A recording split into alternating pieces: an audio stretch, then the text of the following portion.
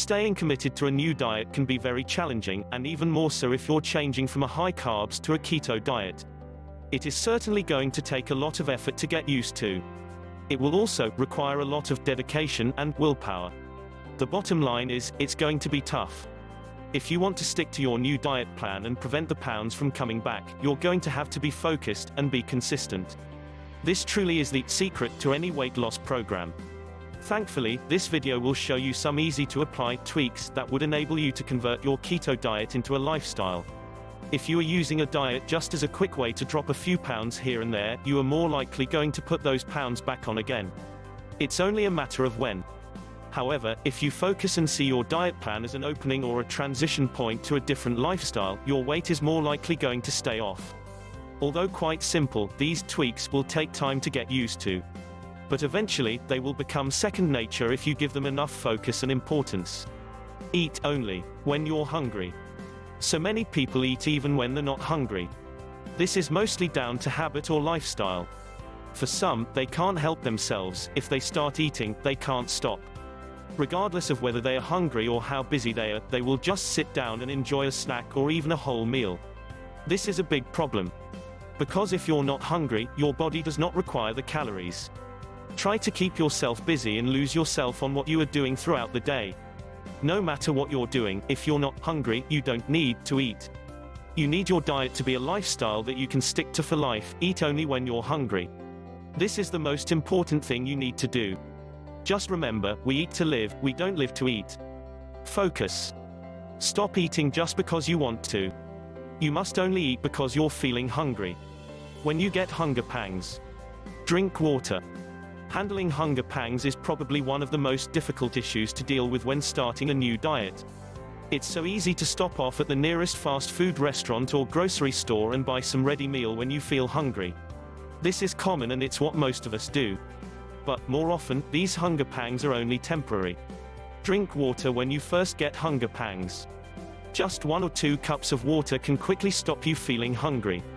It's always a good idea to always keep a small bottle of water with you, and just take a few sips when you start feeling hungry. Eat slowly. When it comes to meal times, don't rush your food. Now, this is easier said than done. You may be busy, and feel you don't have much time, you're probably got used to eating quickly.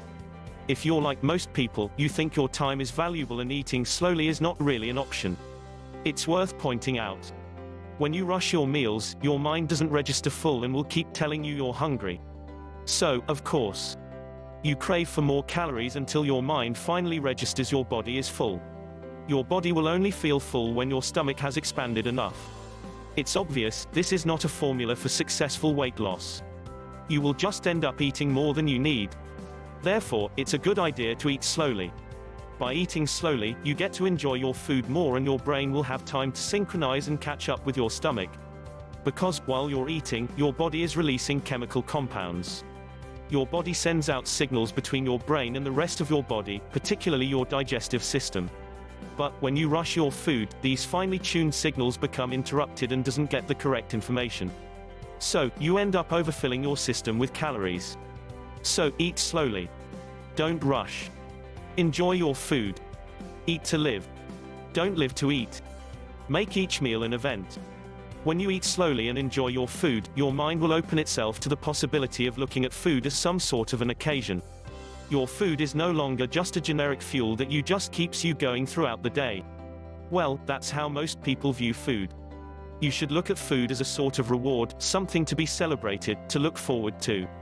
You need to slow down and eat more intentionally so you can really enjoy your food. Get this right, then eventually, you will be able to look at each meal as some sort of event. Be mindfully when you eat. So, we have highlighted why you should eat slowly, you also need to be conscious of the eating process. Savor each mouthful and experience your food preferences in a more positive way.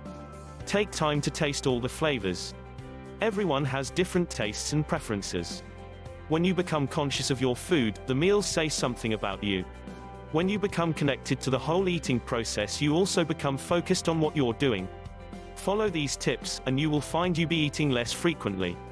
If you want to discover more facts about reducing carbs and the keto diet, visit our website, Reduce Carbs, at reducecarbs.com. You can find a link in the description below.